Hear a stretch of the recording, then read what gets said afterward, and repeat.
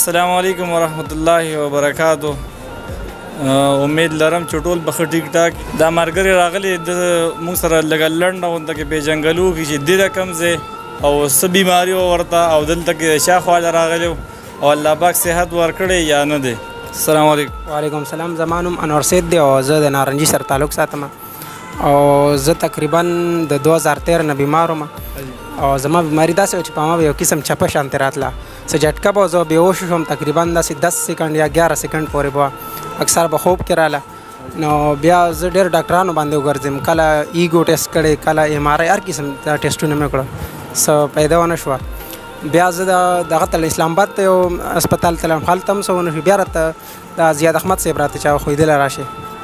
څومره پیسې تاسو لګېدلې په دې بیماری باندې او داغه سر بیا تاسو شفا شوی و یا نه یا غټین کې گزاره وشو یا نه یاره پیسې خو ډیر زیاتې لګي پر وس کې زمانه په یو ورځ کې په تقریبا 60000 روپو پورې لګیدل چې قسمه قسم ټیسټونه به مال کول ډاکټرانو او ډاکټرانو به هیڅ مسله نشته کله به وخم دی کله به سوي کله سو او هغه سره لکه څه شپه نه او شي سم نه ارزي په دې دومره ټیم کې تاسو تقریبا څومره پیسې لګیدل لکه څومره دومره اندازه خو انسان دکی کنه یاره ډیر زیاتې به لګي ویل نشم تقریبا لکاو د پاسه د 4 5 لک روپۍ د پاسه پاسه دا زه د چاو خو بیا شراله نو مطمئن شوې کنه